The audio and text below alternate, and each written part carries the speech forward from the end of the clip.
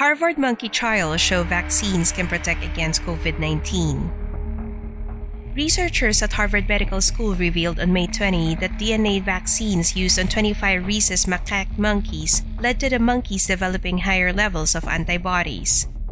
This in turn lowered the level of the coronavirus following exposure.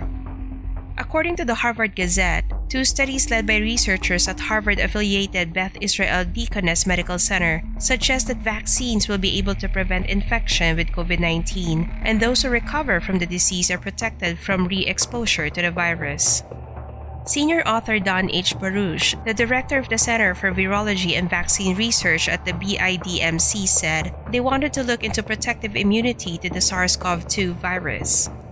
The two studies showed that prototype vaccines administered to the monkeys protected them against infection, and the infection protected them against re exposure. The team started working on a coronavirus vaccine as soon as Chinese scientists released the virus genome in January. They created several candidate DNA vaccines that express variants of the coronavirus spike protein, which the virus uses to invade human cells.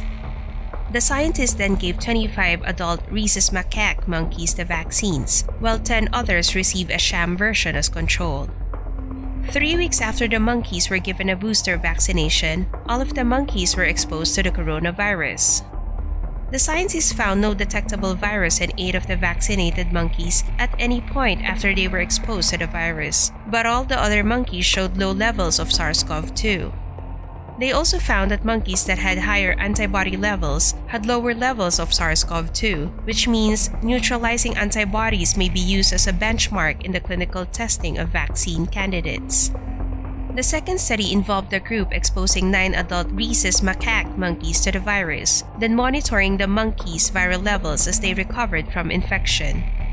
Barouch said individuals who recover from many viral infections typically develop antibodies that provide protection against re exposure, but not all viruses generate this natural protective immunity.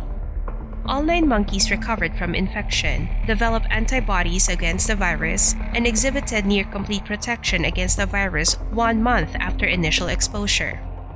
This suggests that animals can develop natural protective immunity against the novel coronavirus and COVID 19. Barouch said this data increases their optimism that the development of a vaccine for humans will be possible.